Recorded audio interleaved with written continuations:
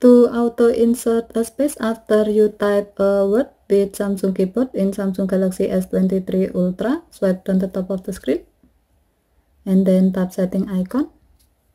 Scroll down the screen to find general management. Tap general management and then tap Samsung keyboard setting. Under smart typing section, tap more typing option. Tap auto spacing and then tap the gray on option next to the desired language to enable auto space feature when you are typing with it.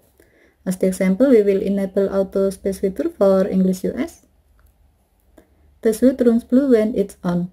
To use the auto space feature, open an app where you can type with your Samsung keyboard.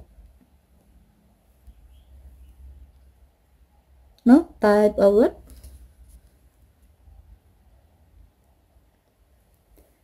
If auto replace feature for the selected input language is on, tap the spacebar to auto replace the word you are typing with the highlighted word and also automatically insert a space after the word.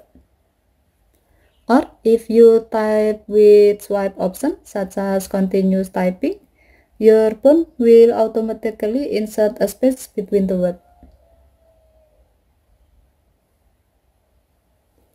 Okay, thank you for watching. Have a nice day.